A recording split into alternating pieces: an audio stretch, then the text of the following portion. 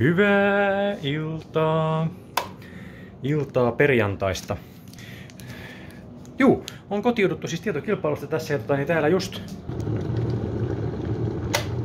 Nax laittoi siitä tuota vesi ja vesi kipataan tänne nyt sitten tällaisen ilta, iltateen joukkoon, jossa ei siis ole varsinaisesti teetä ollenkaan, vaan kaiken maailman eläinaru menee nyt sinne. Kaiken maailman kamomilla laventeli jotakin juttuja. Tästä varmaan joskus aikaisemminkin puhunut.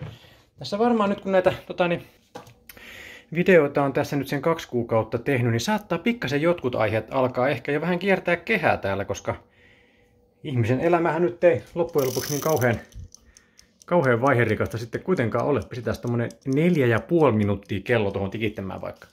Kävin ostoksillakin tänään tuossa tota, valtavat ostokset. Saippua ostin taas lisää. Käytän tämmöstä jotain, mitä liehampuöljysaippua saippua tämä sitten mahtaa ollakaan. No, sehän on just sitä, kyllä. Tämmösiä ostelin. Taas oli viimeiset, mitä tuota Ekoteekin hyllystä löysin. Siellä on aina semmoinen niin kaksi tai kolme jäljellä. Ja aina kun minä käyn ostamassa, niin aina minä viimeiset vien sieltä suurin piirtein. Et tota, niin, tai sitten tämä on niin suosittu, että joku muukin tätä ostaa kauheasti, mutta aina kun minä käyn siellä ostamassa, niin siellä on yleensä vaan pari enää. Oho, kato, pikkasen meni hämäräksi nyt, kun tänne tota, niin vessan puolelle tuli, mutta mennään tuosta, tuolla valo jo meitä odottaa, niin mennään takaisin sinne puolelle. Tietokilpailu ilta, juu. Ja tota, sitten hain vähän S-Marketista löytyi sieltä ale. Tästähän lähti siis puolet hinnasta pois. Se oli valmiiksi, valmiiksi pussitettu näitä paistopisteen juttuja, niin tota, siellä on muutama sultsina sitten voi tässä ottaa tuon iltateen kanssa. Ja sitten otin vielä, tota, niin, nyt otin ihan, ihan testin mielessä, ihan vaan niin oman, omaa makua vahvistaakseni niin on ihan perinteisen tuplan. Niin voi katsoa, että onko se nyt, tota, niin, miltä se nyt maistuu ja onko tämä jotenkin vähän taas himmeä hämärä. Ehkä siinä oli jotain harmautta linssissä. Että onko tämä nyt niin kuin, miten tämä nyt eroisi miksi sitä just maistetusta maple syrupista vai se eroako se loppujen lopuksi niin kuin yhtään millään tavalla.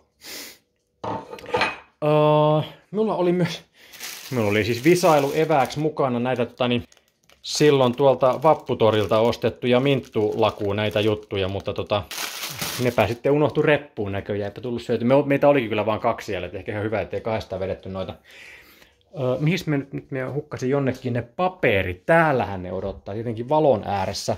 Kahdestaan tosiaan siis oltiin ja tota, voitko kuvitella, lopputulema oli se, että Kahden kierroksen jälkeen uusinta kysymykseen jouduttiin toisen joukkueen kanssa, oltiin tasapisteessä 44 pistettä kummallakin, ja sen uusinnan jälkeen oltiin sitten toisia, oltiin parempia kuin ne toiset, eikä jääty kärjestä eikä kuin kaksi pistettä.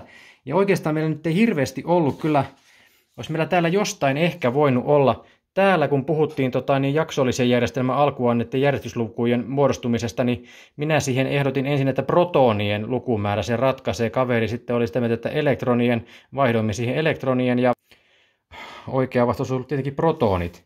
Mutta tota, niin, täällä nyt ei oikein muuta semmoista ollut, mistä me nyt oltaisiin saatu jotenkin pisteitä vielä riivittyä lisää. Aika hyvin tiedettiin, tai jos ei tiedetty, niin ainakin äärimmäisen hyvin sitten loppujen lopuksi veikattiin täältä toisella kierroksellakin vielä. Tiedettiin täältä näitä erinäisiä jinglejä tuli sieltä ja justeeria ja kaikenlaista tämmöistä näin vekkulia juttua. Mutta täällä on sitten tämä uusinta kysymys, mikä meille tuli niille, meille ja sille toiselle joukkueelle.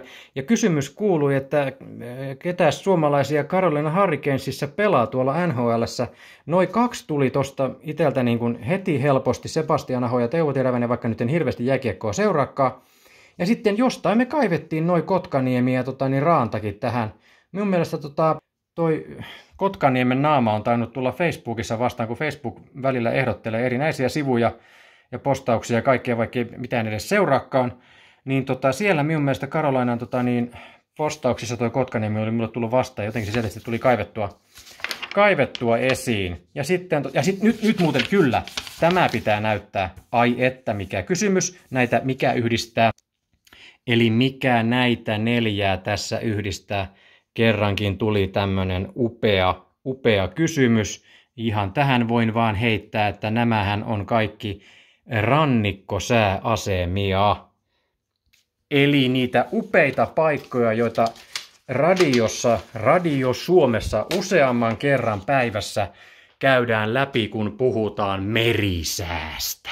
Merisää on ollut vuosia semmoinen, semmoinen lempilapsi minulle ja aika usein tuossa jostain syystä talvellakin, aina kun lähdin niin kun vaikka autolla käymään jossain päiväseltään, niin tota, olin jotenkin sattumalta just semmoisen aikaan usein liikkeellä, että radiosta tuli päivällä, siinä tuleeko se nyt kymmentä vai viittä vaille yksi se tota, niin, merisää siinä päivällä, niin jaha, siellä jo tee piriseekin.